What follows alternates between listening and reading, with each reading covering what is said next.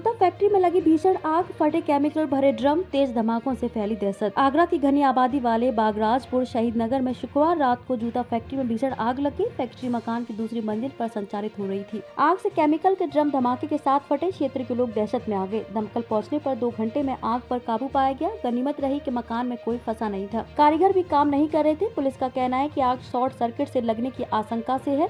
और लाखों का नुकसान हुआ है। पक्की सराय मोड़ स्थित ज्ञान भारती स्कूल के पास हाजी याकूब के मकान की दूसरी मंजिल पर जूता फैक्ट्री है। थाना सदर के प्रभारी निरीक्षक नीरज कुमार ने बताया कि 500 गज में कोठी बनी है। कोठी के पीछे एक मकान को खरीद कर दोनों की छतों को जोड़कर टिन शेड डालकर फैक्ट्री बनाई गई है। यह इलाका घनी आबादी क्षेत्र में है। इसके बावजूद अवैध तरीके से फैक्ट्री संचालित हो रही थी। रात तकरीबन आठ बजे फैक्ट्री में आग लग गई। उस समय फैक्ट्री बंद। लपटे निकलने पर जूता फैक्ट्री संचालक के परिवार के लोग बाहर निकल आए। सूचना पर फायर ब्रिगेड पहुँच गई। आसपास के घरों को खाली करा दिया गया। छत पर केमिकल के ड्रम रखे थे, धमाके के साथ ड्रम फटने लगे। पहले दो दमकल आई थी, बाद में चार और दमकल बुला ली गई। रात तकरीबन 12 बजे आग पर काबू पाया जा सका। आग लगने पर फैक्ट्री का टिन शेड गिर गया, इससे लपटें विकराल हो गई पुलिस को लग रहा था की फैक्ट्री में कोई फंसा हो सकता है। आग बुझाने के बाद पुलिस ने पता किया, लेकिन कोई नहीं मिला। मालिक का परिवार पहले ही बाहर आ गया था। बताया गया की हाजी याकूबपुर में मंटोला के ढोली खार में फैक्ट्री चलाते थे। तकरीबन आठ साल से सदर क्षेत्र में आए थे। बताया गया है कि फैक्ट्री में आर्मी के जूते बनाए जाते हैं। पुलिस का कहना है कि आबादी क्षेत्र में फैक्ट्री संचालित थी या पूरी तरह अवैध है।